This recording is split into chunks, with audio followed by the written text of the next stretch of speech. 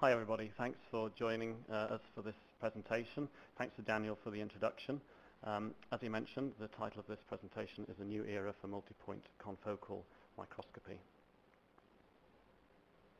So just give you a brief outline of what's to come. Um, we're going to, I'm going to give you a very, very brief confocal um, in, a, in a snapshot. I'm, going, I'm really going to assume that most of you know what confocal imaging is, but just in case, I'll just do a couple of slides to uh, reiterate re, um, the point.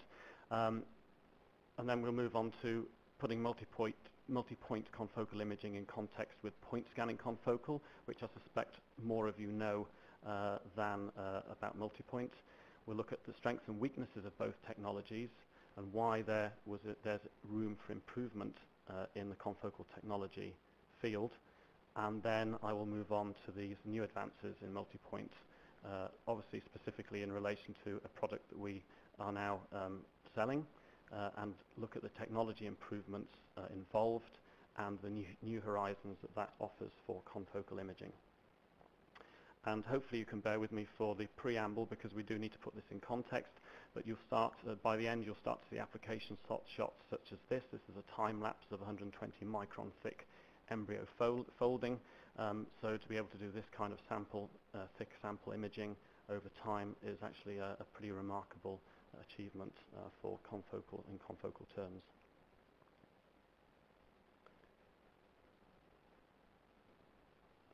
So very briefly, confocal imaging. What is it? So it's basically the, a means uh, by which we can obtain high contrast images if you compare it to a regular epifluorescence microscope. So basically light is focused through a pinhole to the sample. The sample is excited and then light that's emitted from the sample is a mixture of in focus, uh, that is information in the focal plane of the uh, objective and the sample, but also out of focus information. So this is light, that, that this is uh, parts of the sample that's, that's, excited outside the focal plane. So all of the light from the emitted, emitted light comes through uh, the optic, the objective, back through to um, the detector. But before the detector is a second pinhole, and that second, that second pinhole basically uh, makes sure that only the in-focus light passes through it and any out-of-focus light indicated by the red lines is blocked. Um, so basically you get light from planes other than the focal plane that are blocked uh, from being detected by your detector. This is a very simple um, schematic and light paths are never that simple. Why do we want to use confocal imaging? Well, as you can see here on the left, a conventional epifluorescence image here of a, of a pollen grain, which is a fairly classic uh, sample to look at uh, to emphasize this point. The pollen grain here on the left you can see is very hazy. There is some detail you can see in there, but not very much. If we apply a, a confocal image plane, indicated, for example, here by the red um, space, the red, the red two red lines, we're capturing an image between those two red lines specifically, eliminating the outer focus information that, that actually exists between the two blue lines, and this will give us a confocal image such as you see on the right. So now we see detail within that haze that, that was being masked in the epifluorescence image. And if we then sequentially image through the structure in the pollen grain in this case in 3D, so if we go through in a, in a series of Z sections down through the sample, we can create um, a 3D image, and more typically here on the right, we be looking at structures, for example, within a cell in order to get a very good idea of their, of their um, 3D um, uh, distribution, for example, in a cell movement, etc. So this is why we want to capture 3D images typically. So now I'm going to jump pretty much straight to what we see in modern systems. So on the left-hand side here, you can see um, a laser scanning confocal microscope or a single point scanning microscope.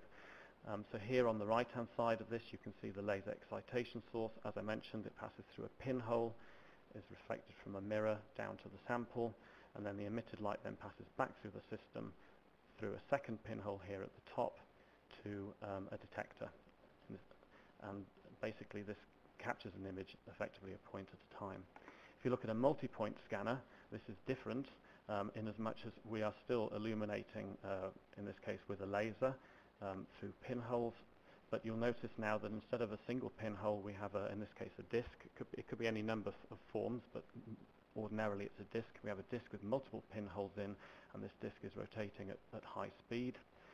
So we're actually, instead of scanning your image a, a single point at a time, we're constantly bathing the, the sample in multiple pinholes. Uh, this again passes through to a sample down below, comes back through um, pinholes, and then uh, is reflected to a detector, in this case a camera. I'll come uh, on later to the relevance of the differences in, in detectors. So the most common method for confocal that people use is the laser scanning confocal microscope or the point scanner. As you can see here, it's illuminating uh, a point at a time. It's scanning across the sample, which typically rastering from X to Y, uh, across, across X I should say, and down in Y. Uh, and this signal then is detected and created and rebuilt uh, via software on a PC, a pixel at a time. And this, as I said, is the most common method that people use. The key benefits of a laser scanning confocal microscope, which has made it as popular as, as it is, is that you get good spatial resolution and excellent confocality. It can be used across a broad range of magnifications. It's capable of simultaneous multi-wavelength capture, so traditionally, I guess, you can be looking up to four wavelengths uh, sequentially if your sample has that many probes in it, um, whereas traditionally a multi-point uh, system would be sequential. Uh, you're also able to do um, slightly unusual scans, for example, like an XZ and a YZ scan, uh, so that you can do orthogonal sectioning and also you have uh, additional zoom. So beyond the optics of the microscope itself, so for example the objective, uh, there is the ability to do some additional uh, optical zoom with the confocal scan head itself. However, like any technology, there are some weaknesses to it. The first one for many people, uh, well, for, for people depending on their application, would be that a single 512 by 512 pixel scan can typically take about one second so this is good for fixed tissue and static samples, but tends to be poor for live cell imaging requiring reasonable temporal resolution. So you can speed up the system by, for example, doing bidirectional scanning. So instead of scanning X uh, across X and then back to the beginning and across X again, you can you can go from left to right to left to right to left. Uh, so this will speed up. Uh, this will double your scan speed.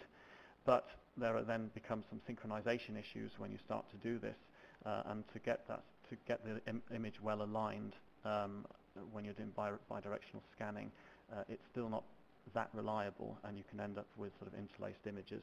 So it can be used, but it's not necessarily the cleanest of methods. And also, for reasons we'll come on to, you require a relatively high laser power for a good signal. This results in photo bleaching, uh, so you lose signal in your, in your image the more you uh, image the same sample or the same area. Uh, and also results potentially in phototoxicity. Uh, so this is particularly bad for uh, live cell imaging. And these days, most people are doing multi-dimensional imaging, so it's not simply a single color in Z, um, and maybe not even necessarily fixed, I'd say often live. So when you're doing 2D imaging, I guess a, a point scanner is, is, certainly fantastic for, for that kind of imaging. Um, when you start to get to 2D over time, particularly in this case for vesicle, uh, looking at vesicle movement where you want to have very rapid uh, frame rates and follow uh, movements of elements in a cell, then uh, the speed of, a, of an, a, laser scanning confocal can become an issue. Um, even if you've got something that's uh, static, like a pollen grain, um, they're very deep um, structures to, to, image, so it can take quite a while to do a complete Z section, a complete Z scan through a sample such as this. Uh, if you're looking at something like um, 4D imaging, so there would be some uh, Z as well as XY over time. Uh, for example, a cell dividing, then this is very sensitive to overexposure of light. You can literally stop cells from dividing by overexposing them to light. So this is another challenge for laser scanning confocal microscopes. Um, and then I guess what you might call the fifth dimensional imaging by using multiple wavelengths. Um, this is something that, as I said, laser scanning confocal microscopes can do simultaneously. So that's not so much of the issue, but it's again the speed that you can image at uh, whilst um, looking at live samples. And then there's obviously six-dimensional imaging. So if you're going to be doing multiple fields, I guess obviously you want to get through those fields as quickly as possible.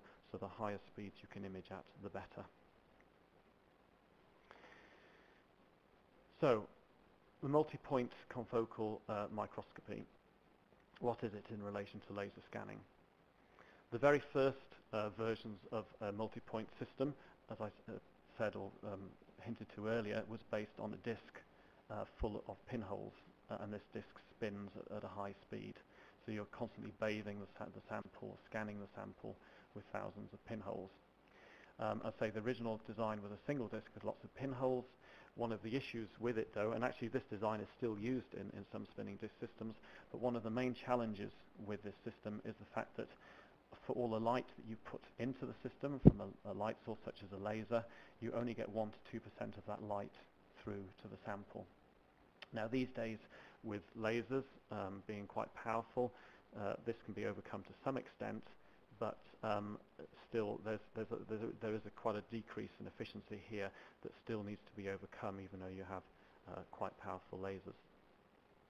So uh, a company called Yokogawa uh, a fair number of years ago now developed what they call uh, a dual Nipkow disk. So Nipkow was the, was the, um, uh, guy who uh, originally came up with the, the first disk design of multiple pinholes in a, in a disk.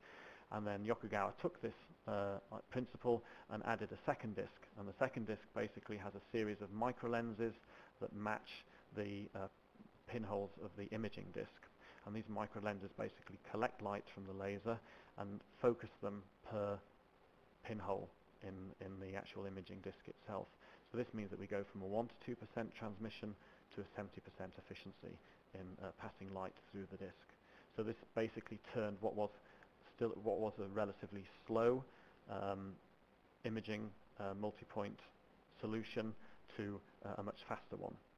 Uh, there are also some other, some other elements that actually make it even even more powerful as far as speed is concerned, which we will come to.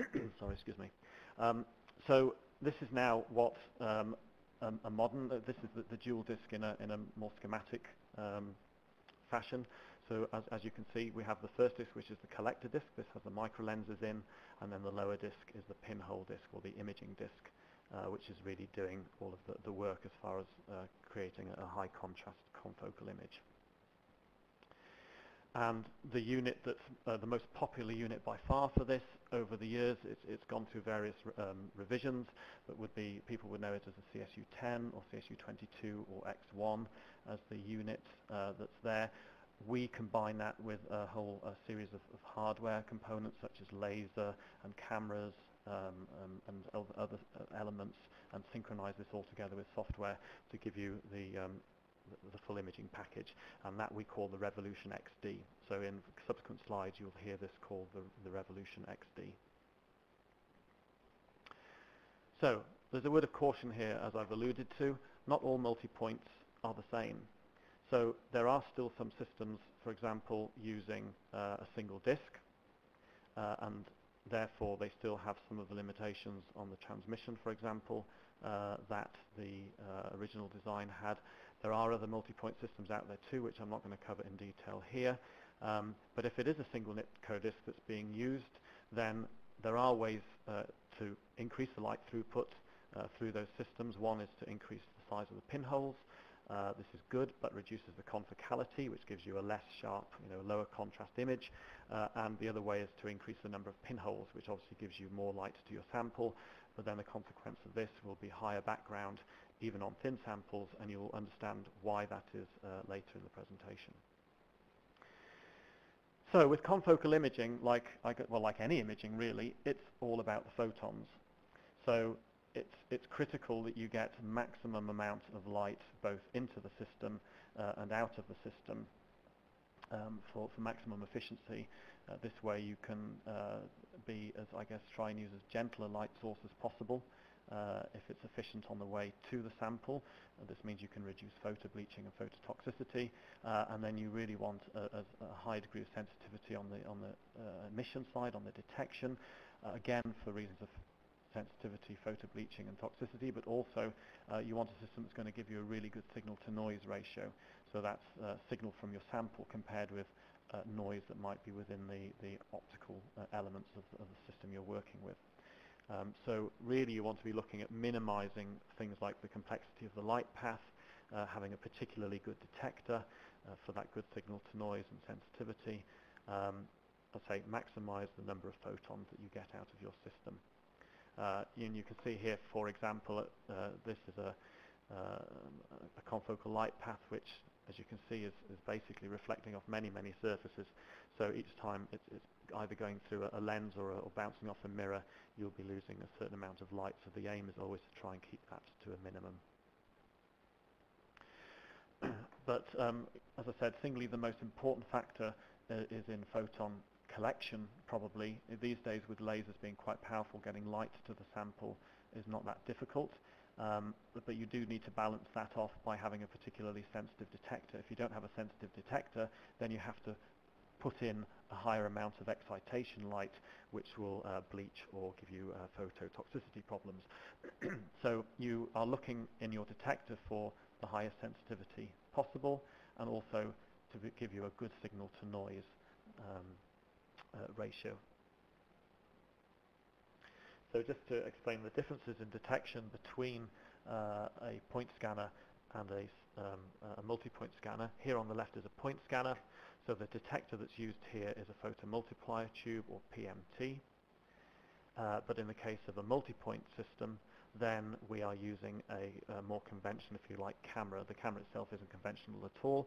Um, it, a, it is a CCD, but these are scientific uh, sensors. So, for example, um, what really brought multi-point uh, confocal units to life was the, um, the um, um, development of the EMCCD, electron multiplying uh, CCD, uh, charge coupled device. So here on the left, for example, is our, is our version of this, the iXon Ultra. This is where we really uh, came into the market. This is, this is, this is our um, uh, leading technology here at Andor, and, and it's, it's the sensitivity of an EMCCD, the ability to amplify signal over background noise that really brings multi-point uh, systems to life, because multi-point systems are traditionally uh, photon, uh, they're low with respect to, to, transmission because of the pinholes, so you do need a sensitive detector in order to maximize the light. And that's also true for a point scanner. The pinholes basically uh, reduce the amount of light you get out of the system, so it's, it's about as getting as much sensitivity as possible on your detector. So if we look at these two different detectors, so we're looking at PMTs here in the first place. Traditional PMTs have a quantum efficiency, so this is the, this is the um, ability, if you like, of the detector to capture photons. Um, then if you look at the quantum efficiency of uh, a PMT, traditional PMTs at best are around about 25% QE, quantum efficiency. There are now some newer uh, PMTs that are reaching uh, quantum efficiencies of about 50, 48, 50 percent uh, in the in the in the blue blue to green range. Um, but uh, what you sometimes find is you have to choose a PMT that's relevant to the wavelength that you're imaging at.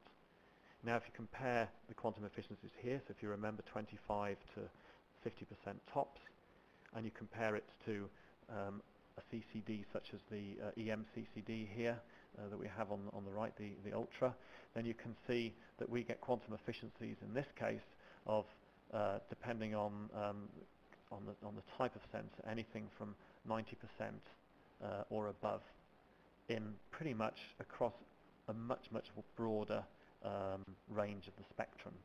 So it's, it's a single detector uh, and it's more versatile as far as uh, detecting the, the, the full spectrum. Uh, that, that you would typically use for a lot of these popular dyes that you can see listed here. So that means that with that sensitivity, we can run at, at, at, high speeds. So we get sharp images, and we can do high-speed imaging at, at, sort of sample at a 512 by 512. So if you remember, on a, on a point scanner, typical point scanner setup, you'd be looking at about one second for 512 by 512 um, uh, imaging, pixel uh, of, of, dimension imaging. Um, and you can see here that a second wouldn't really be long enough. We are looking here at uh, vesicles. If you look in the middle here, you can see two vesicles fusing, a smaller one that's sort of a little bit behind the larger one. And these vesicles are anything from three microns in diameter for the large to one micron diameter for the small. Um, we need to do a 3D volume because they're not all in the same um, plane. They're not all in the same actual plane. So in this instance, we're doing 8Z sections um, with 0.8 micron Z spacing, and we're capturing that small stack every 700 milliseconds. So if you've got the system scanning at one second, you will have missed uh, a lot of that detail.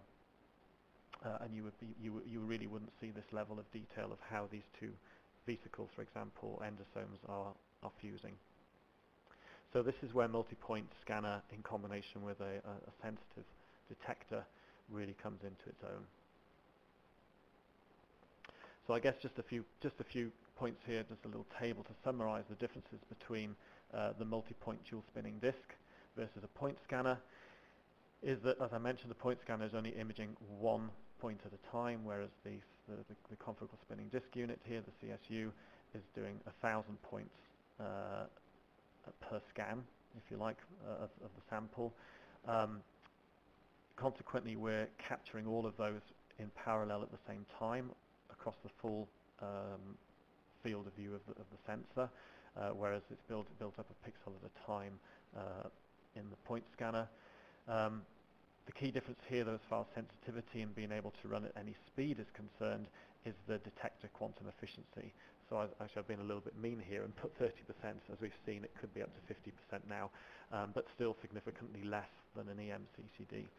This means that uh, we can run, certainly at least with the, the iXon uh, Ultra EMCCD there, full frame 512 by 512, we can run at 56 frames per second. It is possible to run at 40 frames uh, per second at 512 by 512 on a point scanner, but there is some sacrifice there, which we'll come to very, very shortly. Um, and then the other things we need to be careful of are things like the bleach rate. Obviously, if you've got something that's happening uh, quickly in your sample, um, if, you're, if you're using a point scanner and it's taking time to scan your sample, then there will be a skew in time from where you start at the top left-hand side of your sample or scan to the bottom right-hand side. So uh, there'll be some uh, time skew there potentially, depending on how fast your, your um, physiology is in your cell. Um, but there are things, for example, the, the point scanner can do. We have, you can have these programmable, program, sorry, programmable scan patterns to do the, and also do these XZ, YZ scans. Uh, and the other uh, key advantage at this point uh, of the presentation uh, between a typical traditional uh, spinning disk system, a multi-point scanner and a point scanner, is that you have a variable pinhole um, for a point scanner, which means that you can adjust your pinhole, which you need to do, and I haven't explained just for purposes of time, but if you have different objectives on your, on your microscope from high mag to low mag, each of those have different numerical apertures. Um, in an ideal world, you should be varying your pinhole. You, you, will be doing it on many of your systems without you even knowing it. Uh, the pinhole will be changing in size um, to account for the difference in numerical aperture. So that's adjustable uh, on a point scanner. It's not traditionally, traditionally uh, not um, an option uh, on a on a, a multi-point system. Uh, so as I said, I've been talking about traditional systems up, till, up until now on both the point scanner and the multi-point scanner, but actually there have been, there are more recent laser scanning confocal improvements which some of you may already be benefiting from out there. So there, there are the new uh, gallium arsenide phosphate PMTs, which I mentioned give you an increased or improved QE up to sort of 40 to 50 percent. Um, but this still isn't as high, obviously, as the as a CCD that we would use on a multi-point scanner. Uh, and then the other um, significant uh, improvement in recent times, as far as speed certainly is concerned on a point point scanner, is the resonance scanner technology. So with resonance scanning technology, we can you can reach up to 40 frames per second at a 5 512 by 512 pixel scan. However, in order to reach these speeds, you have to sacrifice the field of view. So you trade basically for a smaller scan range in order to achieve your speed. So uh, whereas the multi-point, you don't have to, you don't sacrifice uh, your field of view in order to get a, a, a 56 frame per second scan rate, for example. Uh, and the other thing you uh, potentially do with the resonance scanner is you are, to some extent, um, sacrificing um, sensitivity. Actually, that would probably be not quite right.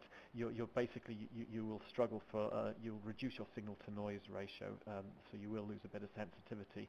You'll lose sensitivity because you're basically scanning faster, so you don't have the same, you don't dwell on the same place as long in your sample, so it's like sort of having a shorter exposure, if you like, uh, on, a, on a conventional camera-based system.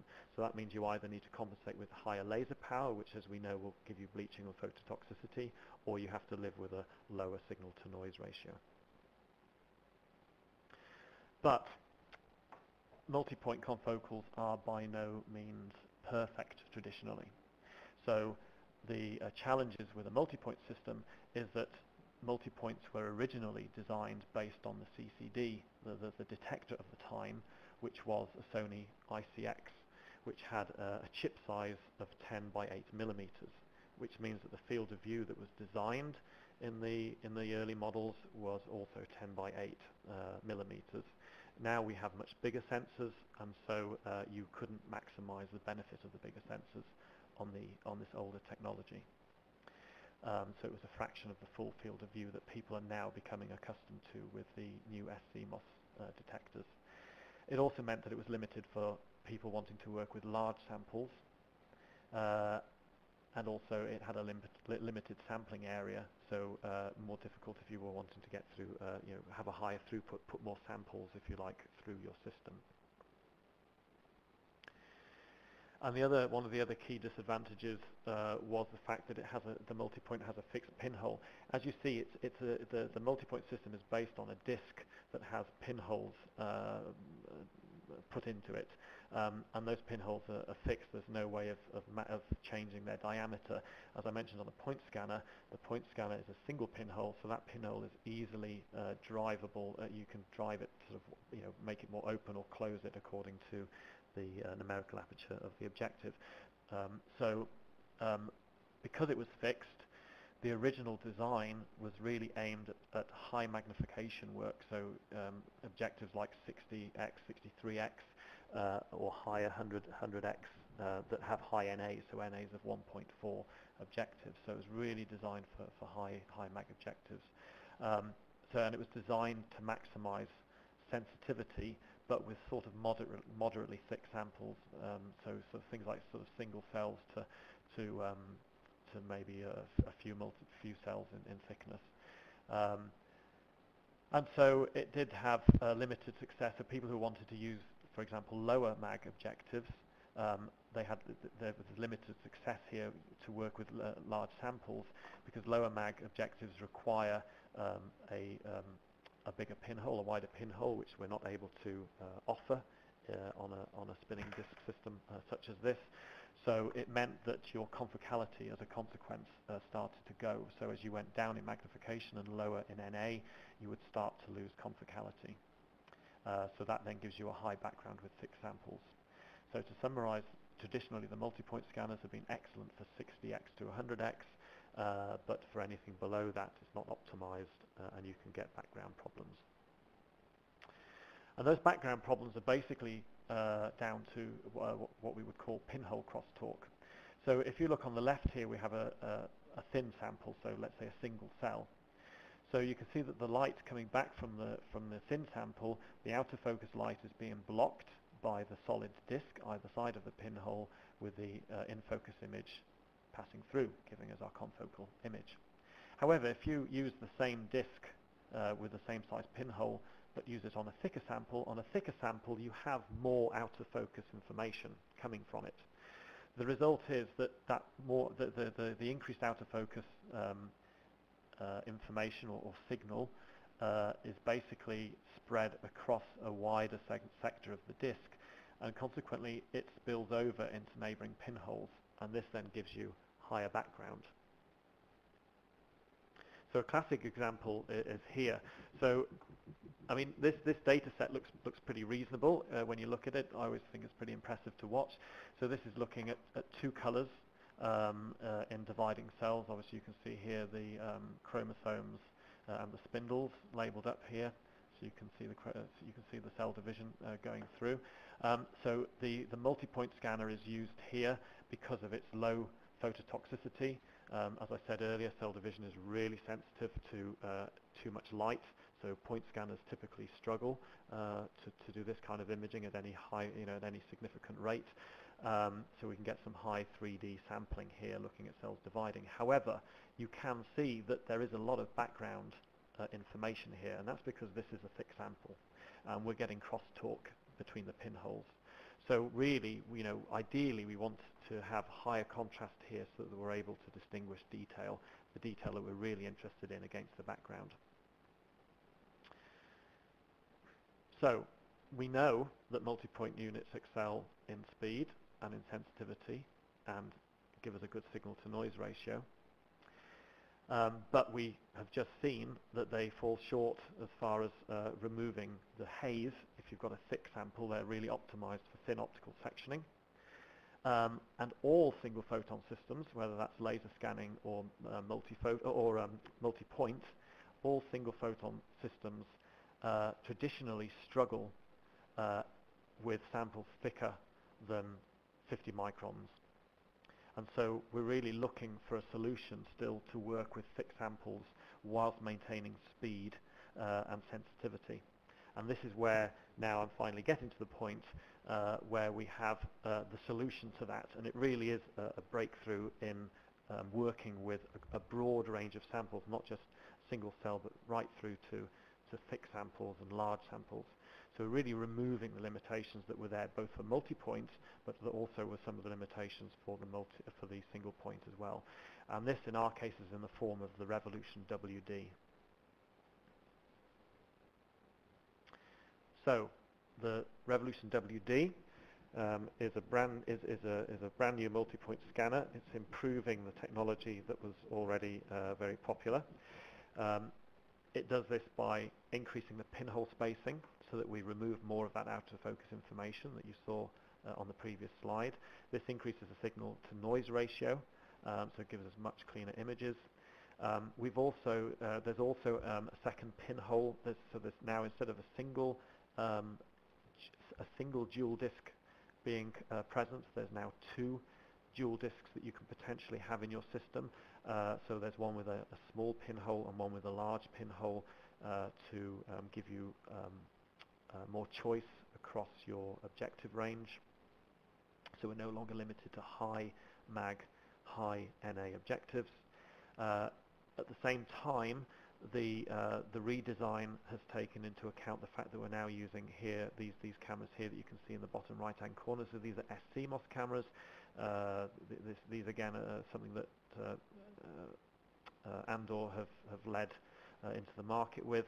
And so it was recognized that these were going to be the CCDs, the sensors of the future. And so they've taken away the limitation. If, if, you remember right, if you remember me saying earlier, the original design was based around a smaller Sony ICX chip. We've now they've now removed that XY um, dimension limitation and opened it up so that you now maximize the field of view of a uh, SCMOS. And then you still have all the benefits of a multi-point scanner, which is speed, sensitivity, signal-to-noise ratio, low photo-bleaching, and low phototoxicity. This is a brief comparison of the XD, which is the original technology, um, versus the WD, which is the new. So here, as I mentioned, you can see the difference in the field of view, going from 7 by, oh, sorry, going from 7 uh, by 10 millimeters up to 16, uh, nearly 17 by 14 millimeters. The other key thing here, as I said, is that you've got a choice of two pinhole sizes, the 25 and 50 micron, compared with the traditional 50 micron of um, the point scanner, uh, of the, um, uh, the original uh, multi-point single disc system. Uh, and you can see now, I mentioned the fact that uh, the pinhole spacing has been increased. So in the, in the original design, there was a 250 micron space between, linear space between the pinholes. This has now been increased to 500 micron spacing. So the, the result of this is that whereas before we were limited to good contrast imaging up to about 50 microns in thickness of a sample, you'll see later that this, as far as I can tell at this moment in time, is really more down, is more limited by your sample than it is uh, by the optics of the system itself. Um, there are some differences though uh, in speed here between the two systems. There's a bigger disk required, which means that we, that, that, that we can't have a disk that rotates at such a high speed. So the original design uh, could give you a frame rate, not that anybody ever really runs it that high, but will give you a technical frame rate of 2,000 uh, frames per second, whereas on the WD, uh, because we have to reduce the, the spin speed of the disk, uh, then that gives you potentially a maximum frame rate of uh, 200 frames per second. But actually we find in reality, particularly with fixed samples, we need to do, um, I haven't explained the, the, finer detail here, but um, 200, uh, in, so that the pinholes of a, of a disk, uh, that, that pattern of multiple pinholes in a disk, you don't necessarily need a full revolution of the disk for a single scan. Um, so it, it's basically a, a, segment effector of a disk. Uh, you only need part of a rotation to get a full confocal scan of your sample.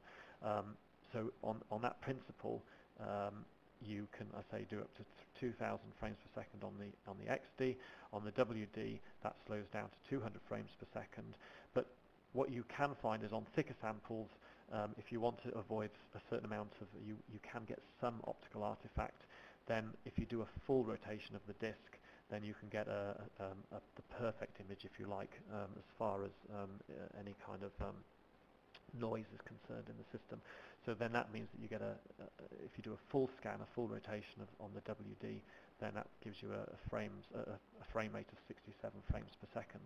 But that's still probably for 90%, 80 to 90% of people's applications, that's more than fast enough.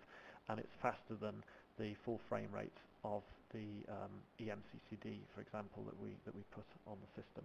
Um, other elements now is, is that we have a, a bright field bypass as standard. If, if, some of you have used the, um, the uh, original uh, XD system or the, the original Yokogawa system, you'll know that the bright field bypass was, was an option. It's now standard uh, on the WD and, and, a much simpler light path as well in order to do that. Um, and then you have other things like uh, there's, there's dual camera versions that are, that are as options. Uh, in the case of the WD, there is a, a, specific model that gives you a split view, which means you can have a single camera solution, uh, but but run two uh, wavelengths simultaneously, uh, one wavelength on half of your CCD and, and the second wavelength, wavelength on the other. So this gives you at least two channels simultaneous uh, high-speed imaging. That, that would have been an option on the original model with an additional device. Uh, and then with the new WD uh, not quite yet available, there will be some near-infrared capability, which uh, which I'll I'll touch on again uh, shortly. Uh, and there are also built-in um, emission filter wheels in the new system as well. So, what does the increased pin pinhole spacing do for us? Well, I mentioned earlier that you know if you have a thin sample uh, with the um, 250 micron spacing between the pinholes, then it's fine with a thin sample, but when you move to a thick sample, as you, if you'll remember, you get this crosstalk as the outer focus light uh, spills over into neighboring pinholes. So by increasing from 250 to 50 microns, you can see here on the right-hand uh, most image here that um, even with thick samples, you're now blocking, you're still blocking the outer focus information, so you're reducing the, the chance, the likelihood of spillover into neighboring pinholes. So this gives you a higher contrast uh, more confocal image. Um, and this is basically what the, what the difference is uh, as far as the two systems are concerned. So on the left is the XD. So you can see if you compare the two that the disk size has increased uh, because we have uh, bigger, sp more spacing between the pinholes. It's also bigger because we have we now have to actually illuminate a larger field of view because of the SCMOS. So we have to spread, we have to basically illuminate over a larger area. So, um, so consequently, the disks, the, the, disk size increases, which, as I said, is why we have to uh, therefore reduce the, the spin speed uh, for stability reasons. Um, but you can see that the benefit is you get a larger field of view, and as I mentioned, uh, better contrast on thick samples. Um, and so, as I said, the system you can have up to two disks. So in this uh, schematic here, um, you can see that there on the left here you can see that you, you can have the, the, the, two disks in here. You can have a single disk unit if you like, um, but you can have the two disks and basically according to whether you're using a high NA uh, uh, objective or a low NA objective, you can then select your pinhole size accordingly. Um, and uh, th- these discs simply move across the light path and there's a middle position here. If you look on the right-hand side, there's a middle position whereby you can have a bright field bypass. Uh, and so if you're wanting to do high-quality DIC imaging, for example, in amongst your fluorescence imaging, then uh, that's when you would use the bright field bypass. So uh, this gives you an idea of um, the, the, the, difference in performance. So in the top image here on the right-hand side, this is an XZ scan. So th this is looking, we've done XY, so we've done a Z section, I should say, a Z series through a sample, and now we're looking at the orthogonal view, so we're looking uh, at the Z uh, aspect here of the sample.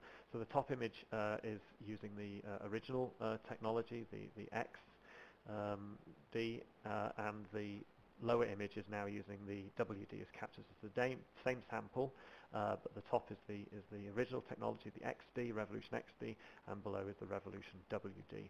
And you can see between these two images that there is a, a definite elimination of haze uh, if you compare those two images. So there's an improvement, uh, significant improvement in the image quality there. and if we if we also look, because a lot of people when they're looking at, at confocals, they're really interested uh, to well, they like to be reassured, let's say, that the that the actual resolution, so the resolution in Z, the performance is is is good and is giving them good resolution.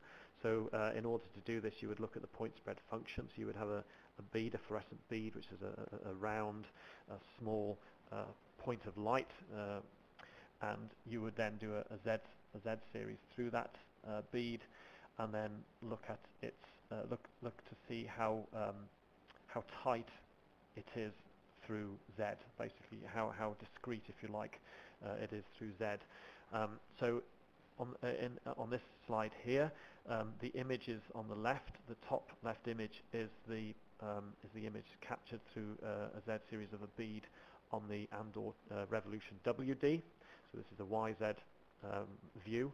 Uh, and on the lower uh, left image is the same uh, bead, but um, well, it's not the same bead, but it's, it's looking at the same size bead, uh, but using a, um, a, a, point scanner, a laser scanning confocal microscope. Uh, we've used as close an objective magnification as possible. They both have the same um, NA.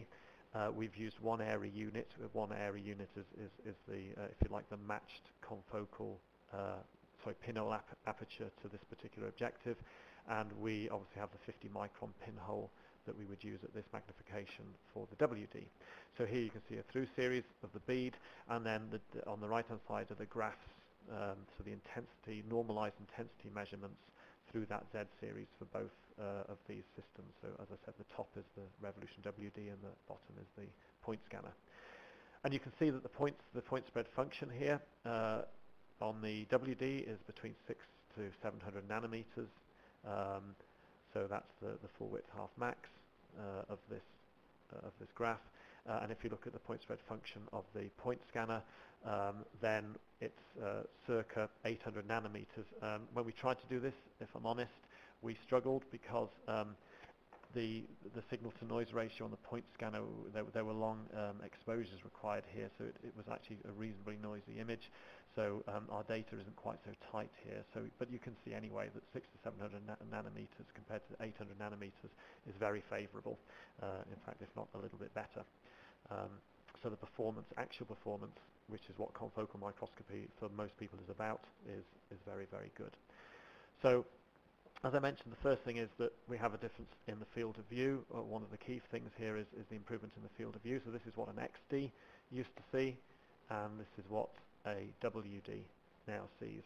So if you have large samples or you simply want to be able to image more cells at a time because you need to have high, high N numbers for measurements and statistical analysis, then clearly you're going to get a much better throughput, a much higher sampling rate with the Revolution WD. Um, so in combination with the fact that you have a large field of view for large samples, the added benefit here is that we can really do truly deep imaging. Uh, so here's that. Uh, this is the embryo that I showed you earlier. So this is a 120 micron thick, thick embryo, 3D over time. Uh, so this is you know pretty deep for, for any level of imaging. And here on the right-hand side, we've got a 250 micron thick uh, mouse ovary, um, which uh, we are imaging uh, live, uh, though this isn't a live movie I'm showing you, but we have imaged it live and at high speed uh, with the WD. So just to give you a, a, sense of the quality that you can get here, because if you're particularly if you're um, familiar with point scanners, you'll obviously be, as I said, you'll be used to have seeing good resolution uh, and good confocality. So here uh, in this uh, slide, we've got um, a sample that's about 150 microns thick, uh, and we've they're wasp embryos. Uh, we've gone through a 3D volume of these, so 106 Z planes, so that's um, an image every every micron. Uh, we're using, which I'll come to actually in a bit, we're using a specifically here a 30 times a silicon oil objective, and we're using the full field of view of the SCMOS.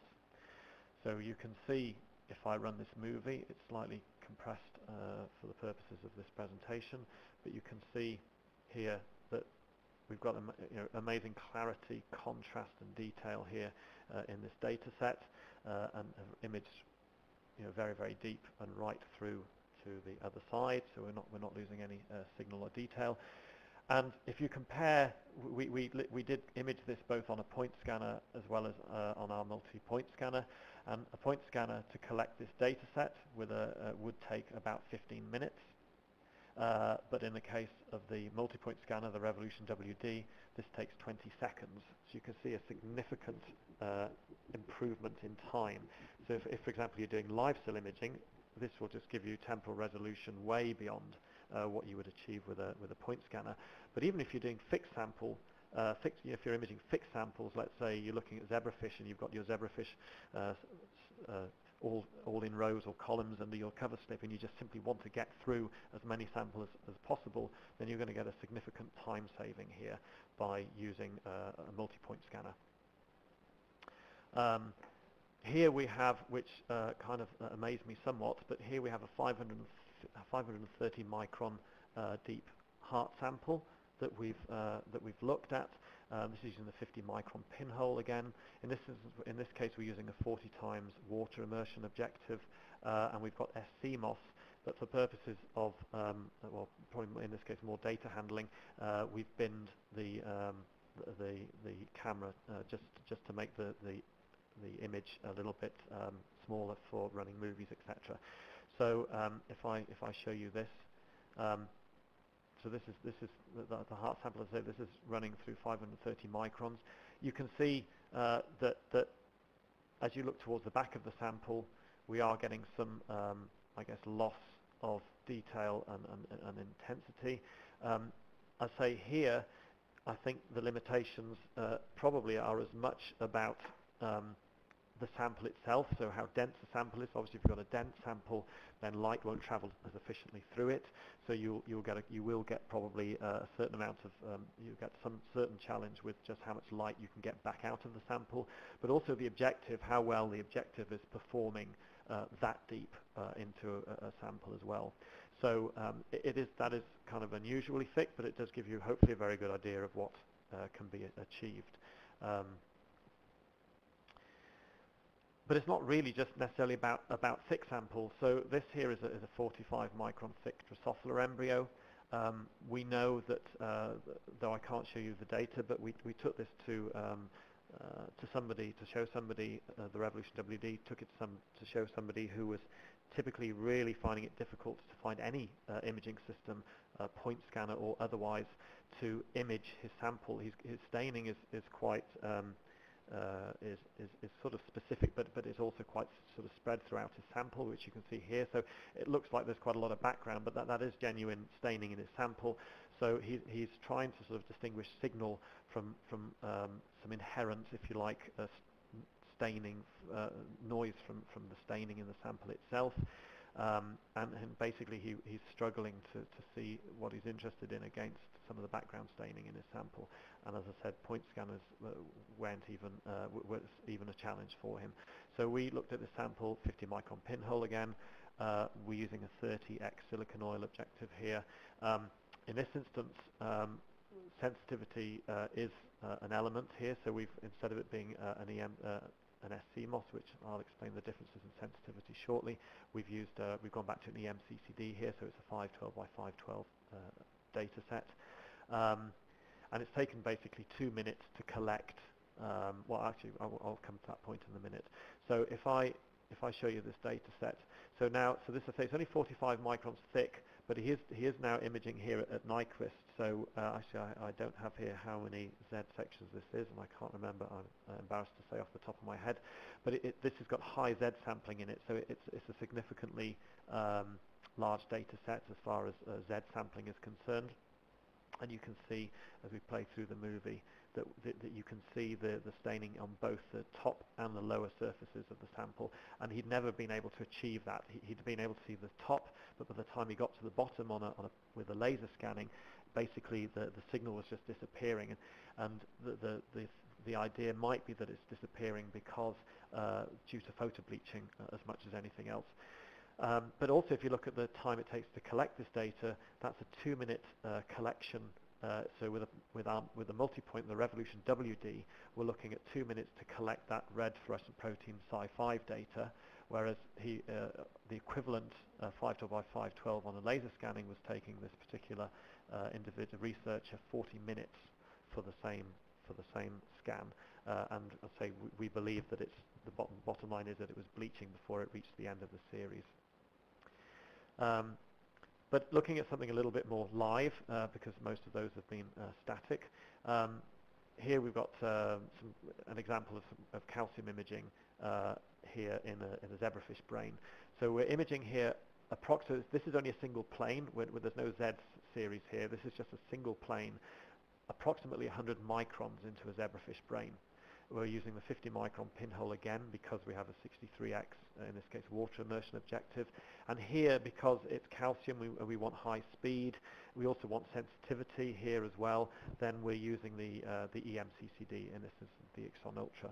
So if I play this movie, oh, what's happened there? I do apologize.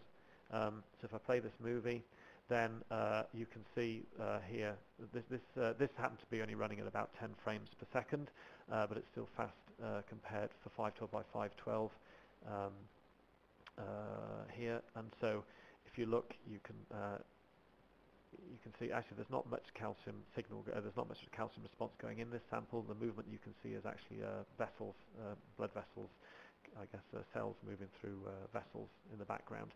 Um, but the fact that the point here is that we're imaging 100 microns into the brain. When we tried this, uh, we had tried this on the uh, XD system. We simply just cannot get the contrast in the image this deep into the brain to get any meaningful information out of it. And from the point of view of a point scanner, you would um, struggle to run at those speeds uh, that deep uh, into the sample, maintaining that level, that size uh, field of view. Uh, and then this is this is this is the zebrafish again, but this is just a 3D. This was a Z stack and then a 3D reconstruction. So this was imaged between 80 microns and 120 microns. Uh, sorry, from 80 microns into the brain to 120 uh, in the zebrafish brain that we just saw the calcium data to. Um, other applications, for example, would be uh, embryology. So, you know, when you're looking at embryology, you're looking at multicellular, so things like cell colony, uh, colonies and multicellular um, cell um, colonies. So, so you're looking certainly in, in, depth beyond a single cell in thickness, uh, and you might be wanting, for example, in this instance, a follow cell division. So, um, so here uh, you can see we're capturing high contrast uh, images for, cells, for following cell division. Phototoxicity is still not an issue uh, because if, if, we've got low phototoxicity because the cells are dividing, uh, as I said, you know if, uh, if there's too much light in the system because you won't get the cells dividing. Uh, and in this instance, the researcher uh, reported that there was actually less bleaching here in, this, in this particular sample. Um, compared with the, the, the CSUX or, or, the XD system. Uh, in this instance, we're using a 1K by 1K, um, 1000 pixel by 1000 pixel EMCCD uh, for that data set. Um, but it's not, the revolution, uh, this has all really been so far about large and deep, but, but it isn't all about large samples. The WD is still a perfectly valid and actually very, a, a very, very good system for doing the single cell work that, tradition, that, that, this, that the uh, technology was, was you know, traditionally designed for. Um, so here we have a, an example where um, yeast have been, it's a pretty short movie, but um, this particular researcher was interested in, in looking at, sorry there's something going wrong with, with the movie there, um, was interested in uh, yeast. Yeast are, are, very small, typically not much more than about 5 to 7 microns in diameter, uh, and often we're interested in very small features, uh, buds uh, and scars on the, on the outside surface of yeast um, that we stained up with different probes.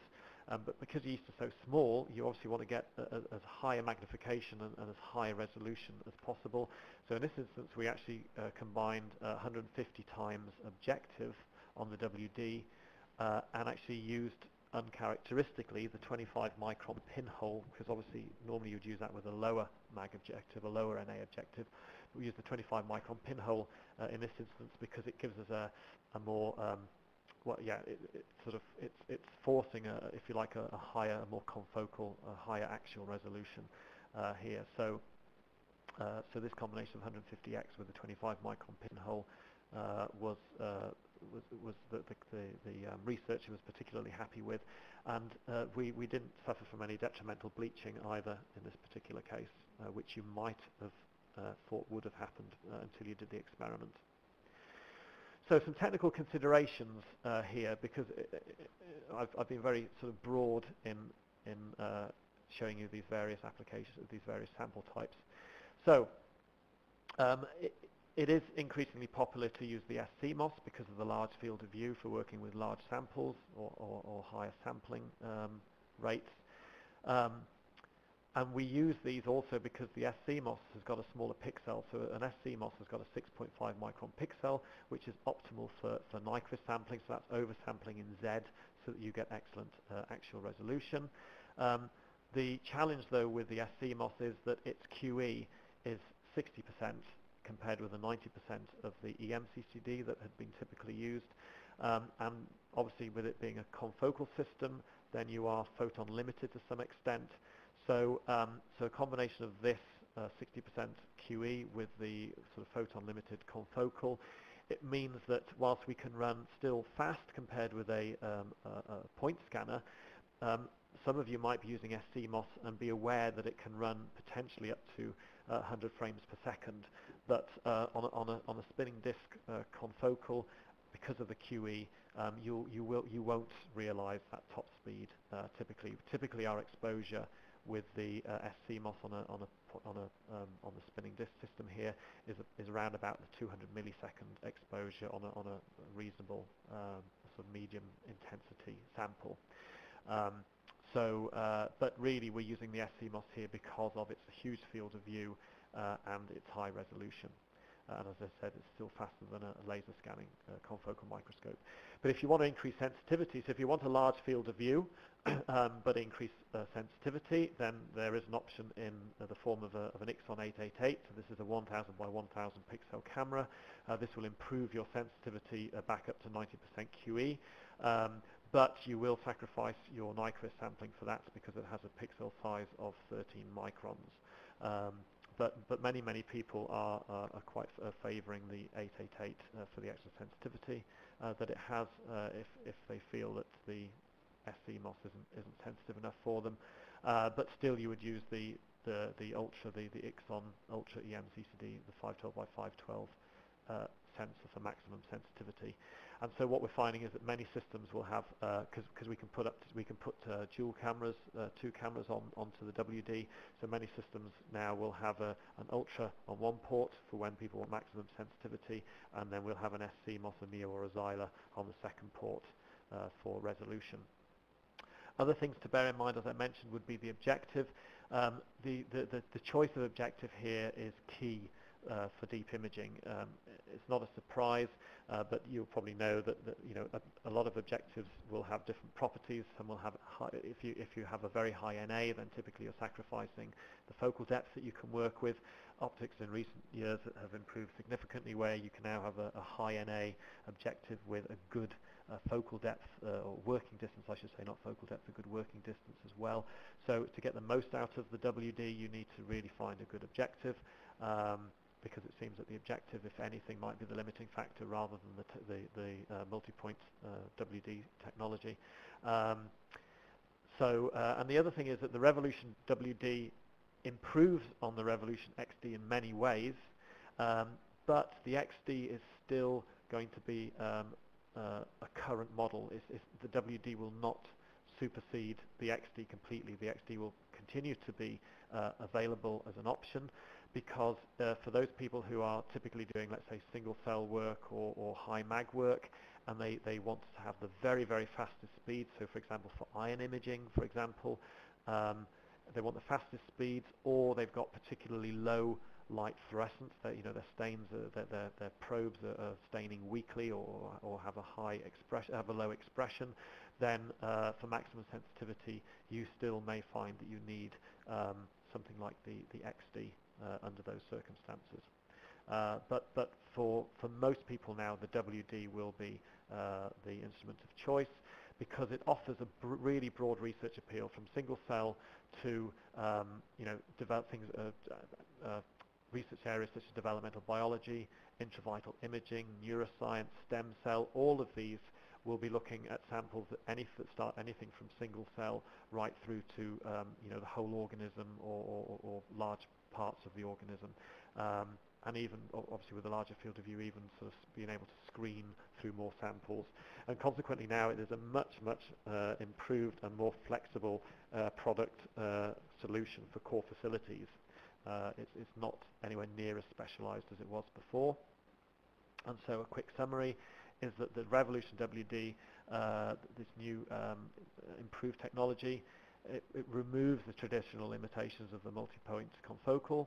Uh, it can now we believe it can now be considered as an alternative to the laser scanning confocal microscope. Why?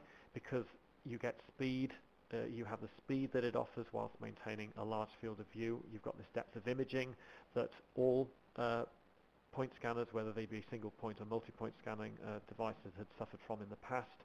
Um, you've got uh, this large sample size that you can work with, and also we, we still have a high signal-to-noise ratio with an excellent dynamic range compared with a laser scanning confocal microscope for many, many, uh, for, for, quite a lot of people's applications if you were to do a like-for-like -like comparison. So I would like to thank you for your time. Uh, I hope that you uh, realize now that the potential, uh, or the new potential that um, the multi-point scanning technology brings to the market uh, and really should open up new doors and areas of uh, an imaging potential for, for, many of you, hopefully, that have been watching this webinar. Thank you for your time, and I will now uh, try and take some questions.